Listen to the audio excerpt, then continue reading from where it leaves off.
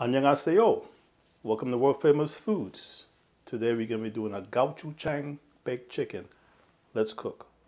All right, folks. So we're going to mix our sauce up together. We got our gochujang paste. Put some in here. All this is just just a Korean red pepper paste. Some soy sauce in here. Got some cooking wine. Now we're gonna put some garlic and ginger. Pretty simple. Some green onions. Wow. Smell good, smell good. Black pepper.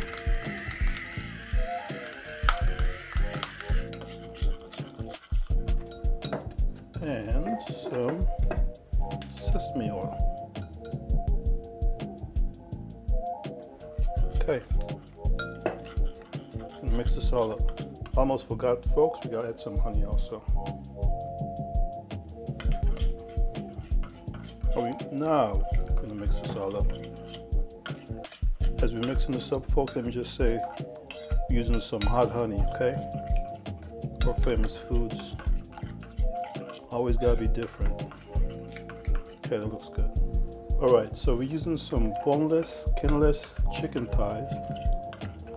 Now we're gonna marinate our chicken for about 10 minutes. So let's just put our wonderful sauce on here.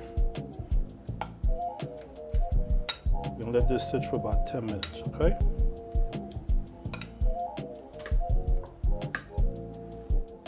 Just so you guys know, yes, both sides are marinated, see?